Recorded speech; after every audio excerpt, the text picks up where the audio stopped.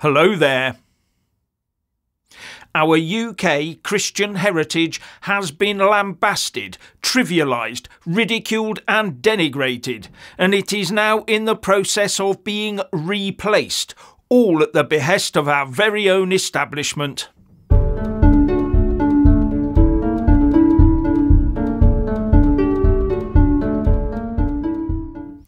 If you think the UK is nominally a Christian country, then think again.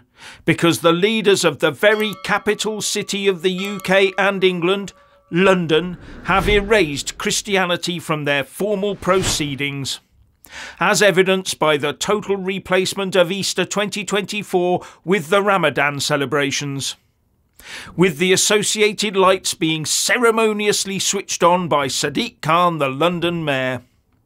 If you go on the londocityhall.gov.uk website and search for Ramadan 2024, you get information about Ramadan and Eid this year. But putting Easter 2024 into the City Hall website just returns references to Easter events long since past, and the best you can get is an external link to Visit London.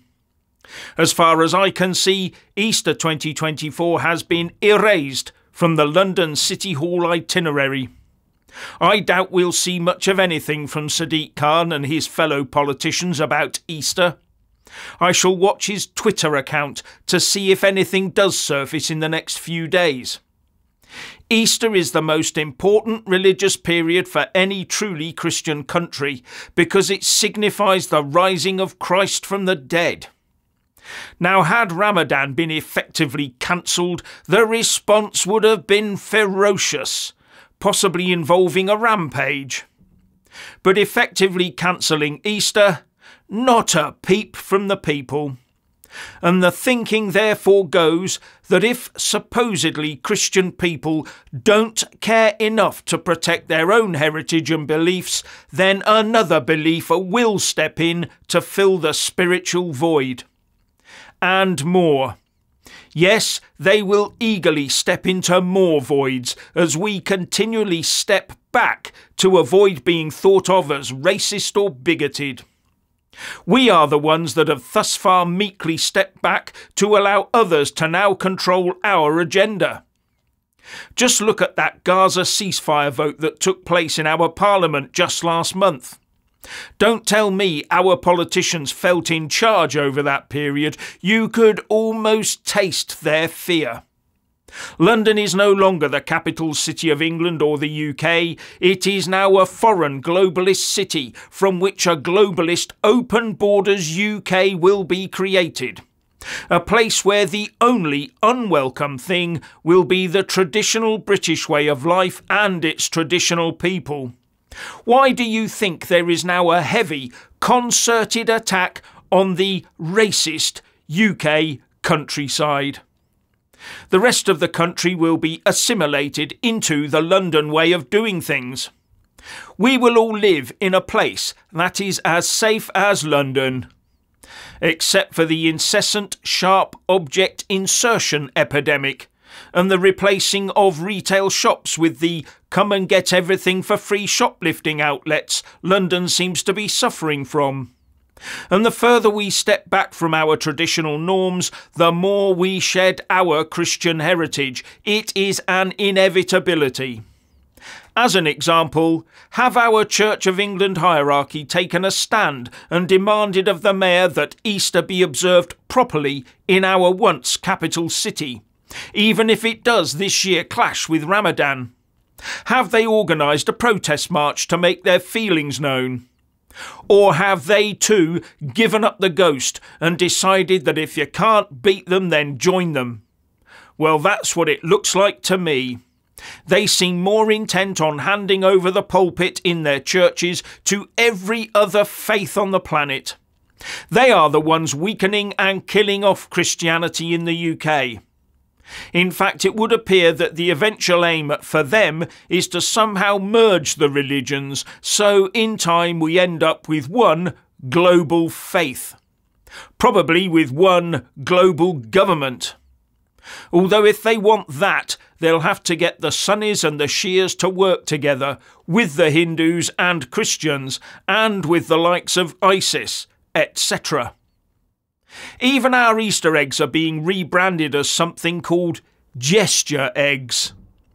Yes, at least one Cadbury's egg outlet is advertising them as such, despite Cadbury's saying it's nothing to do with them, despite their logo appearing on the advert. But who would rebrand Easter eggs in the UK? Those who dislike our religion, maybe, or those who are frightened that someone might take offence unpeacefully. And it's not for the first time. Easter has come under woke fire before. There have been previous attempts to call Christmas Winterval and turn Easter into Spring Festival. How many more backward steps are we going to be expected to take? If you're white and Christian with traditional Christian values, you can forget it. Anyone identifying with that will by now be on an MI5 watch list. But our exploding demographic will be allowed to do whatever they want, especially where they are concentrated in places like London. And you only need to look at the pro Palestine marches to understand that our police officers have lost control of the streets. In fact, they've just about given up unless you are an easy pro Israel target or you hold up a placard that truthfully says that Hamas is a terrorist organisation. A Christian can be ordered not to pray in public or even be arrested for it, even if the police are wrong. But the police would never ever try that with a different demographic, would they? For fear of the consequences. And I will remind you that the Batley teacher and his family have now been in hiding for three years, something that we have to tolerate. Our excessive UK tolerance is leading to the intolerable. And I fear that the patience of the UK silenced majority is near breaking point while the silenced majority are being berated for their white privilege and their so called history of slavery, all adding insult to injury. So I fear that the backlash by the silenced majority will be severe, very severe. And I don't want to speculate too much on that, because civil war is never pleasant, and this will not just be isolated to Britain, but also across Europe and it might be the French or the Irish that will be the first to light the spark that could spread across all Western nations. But it's all okay, folks, because according to the pundits, there's now a 99% certainty that Keir Starmer's Labour Party will form a new government soon a new government with well over 100 seat majority behind it, and they will save the day for traditional British values. Won't they? Well, given that Sadiq Khan is likely to remain the Labour Mayor of London, as well as having a Labour Party in power that appears to have a new preferential demographic, I'm not so sure that our British heritage is in safe hands. In fact, I'm convinced it is not in safe hands. Especially as Starmer and his sidekick, Angela, I'm not showing you my council house sale capital gains tax details, Rayner, have declared that they're going to hand over even more power to what they call local leaders. Why didn't they say councillors or mayors, for example? Maybe they're setting up a whole new tranche of leaders under their proposed Take Back Control Act take back control. I fear they will just give control away to local leaders who might end up wanting to follow a different set of laws to the rest of us. And this new Take Back Control Act might give those leaders just that power. And I would bet that the average Brit won't get back much control either. And it won't take long for people to realise that Labour has sold them a dud. And it's no good moaning. Our politicians no longer listen to complaints, they only react to actions, as we have now seen. And writing to your MP and expecting a meaningful reply is now a fool's errand. If the ordinary silenced majority Brit wants to save the country they love, they are going to have to do a lot more than just sit and gripe. Because once it's gone, it's gone.